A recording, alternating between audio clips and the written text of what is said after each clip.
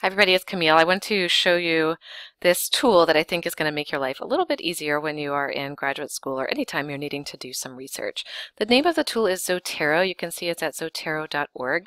This is a free tool. It works with Firefox and Chrome and potentially some other um, your browsers as well, but I'm not sure. I use it primarily with Chrome, so that's what I can speak to. And I've already got Zotero downloaded, but you can um, download it yourself if you want. You can see that it's um, down here already open in my screen. So let me show you what this can do and why you might want to use it.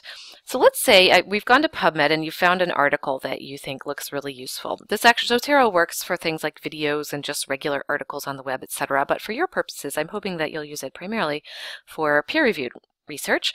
And here we found this article on thyroid eye disease that I have, think might be useful for some research I'm doing on the thyroid gland. And if you notice up here um, in this in the bar, you, there is a little icon of a paper, and when you hover over it, it says Save to Zotero.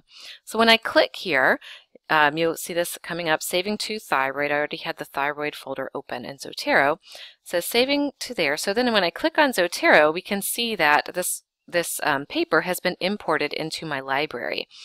And you can see the whole thing is here. If you look over here, the um, item type, the title, all of the authors, all the publication information, the website, the PubMed ID, and so forth has all been automatically imported with just one click. I didn't have to do anything.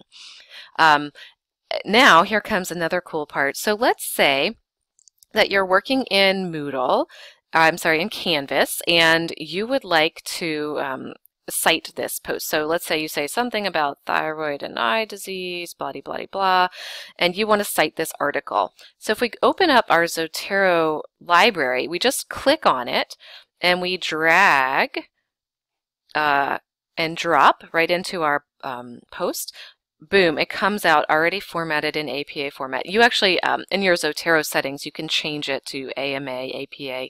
Uh, they have, I think, hundreds of different possible options, but I've got mine set up to APA. So it automatically um, formats it just like so, um, again, without any extra work for you, which is really, really nice. So it's um, it makes this whole referencing process much, much easier. It will do the same, like I said, for almost anything that you find on the web. One other interesting and fun thing that I wanted to show you while we're here is that let's say um, I'm writing a paper and I want to cite all of these articles, right? So um, I'm going to select all of them right click and it will say um, create big bibliography from items. It's one of my options. So if I do that, here we can see um, select citation style. I have APA 6 and you've got some options. I want to do a bibliography and I want to copy to the clipboard Okay, and so then let's say, um, for whatever reason, I'm writing my paper right into a Canvas post.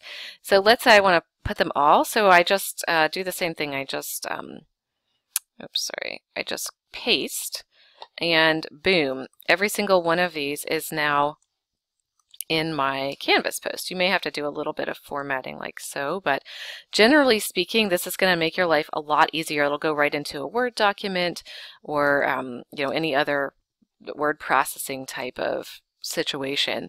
Um, and this, it'll, it's automatically um, alphabetized and uh, you've got all the information you need, including the link to um, access the paper. So I hope this makes your life a little bit easier. The best thing to do is just download it, play around with it, and see if you like it.